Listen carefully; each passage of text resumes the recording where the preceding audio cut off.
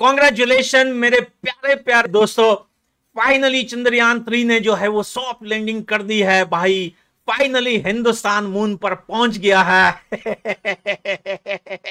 पाकिस्तान वालों मून पे कब जा रहे हो?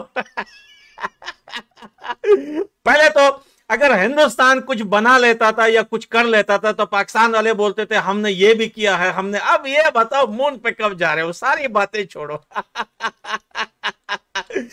देखें दोस्तों चंद्रयान थ्री को लेकर दो देश काफ़ी ज़्यादा परेशान हो रहे थे और दुआएँ कर रहे थे अपनी अपनी लैंग्वेज में पड़ोसी देश यही बोल रहा था कि या अल्लाह चंद्रयान थ्री क्रैश हो जाए चंद्रयान थ्री सॉफ्ट लैंडिंग ना करे या अल्लाह वो यही दुआएँ कर रहा था और एक और पड़ोसी देश है जो चाइना है वो भी यही दुआ कर रहा था चंद्रयान दीजिए वो चाइनीज़ में बोल रहा था कि चंद्रयान थ्री गिर जाए।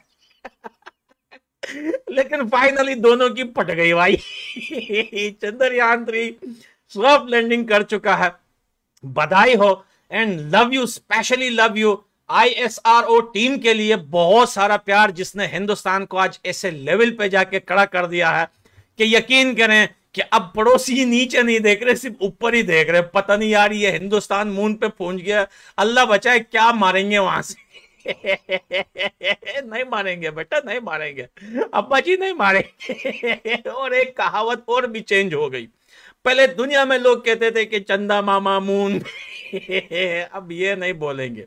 अब पड़ोसी बोलेंगे, अब्बा मून पे। हमारे अब्बा पहुँचे मून पे, हम रह गए ज़मीन पे।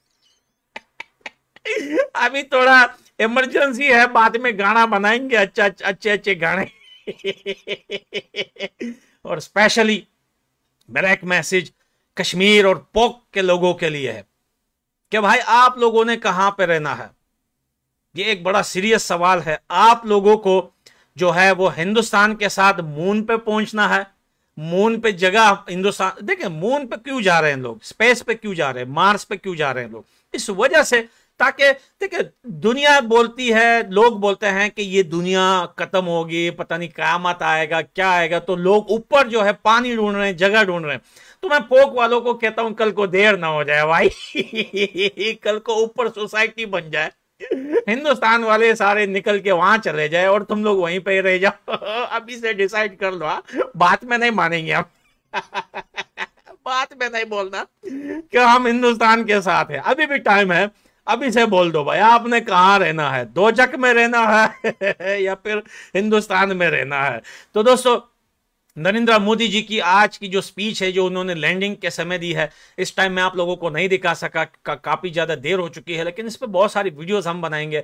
नरेंद्र मोदी जी की जो स्पीच थी दोस्तों जो उन्होंने आज लाइव तरीके से उन्होंने जो बातें की है और I I S R O team को धन्यवाद और बधाई दी है दोस्तों यकीन करें कि एक कैसा ही बंदा होगा जिसकी आँखों से आँसू ना निकला होगा। बहरहाल दोस्तों, पूरे हिंदुस्तान